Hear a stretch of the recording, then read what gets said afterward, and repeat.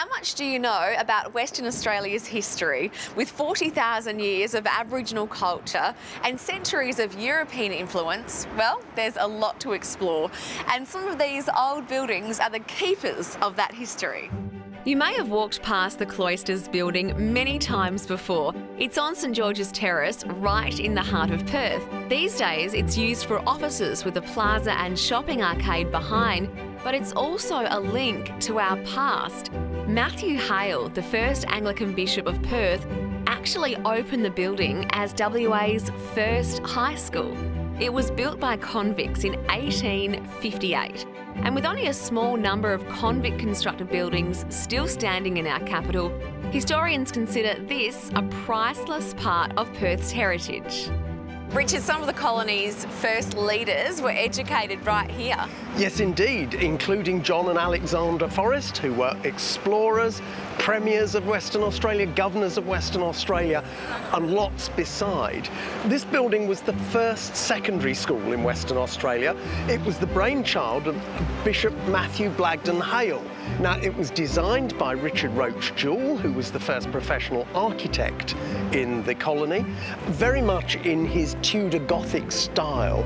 And you can tell it's by him just by looking at other buildings like Barracks Arch, uh, Government House, all in a similar style. It opened in June of 1858 with just 23 students, all of whom were from the upper echelons of society here in Perth.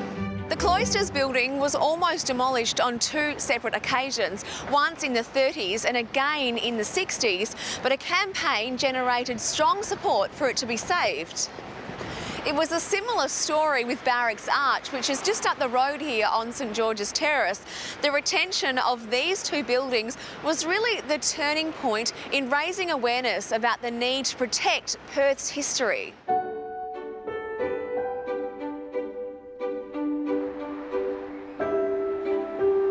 Buildings like this are a visible reminder of Perth's history. They help to give us a sense of place and they help us to learn from the past for the future.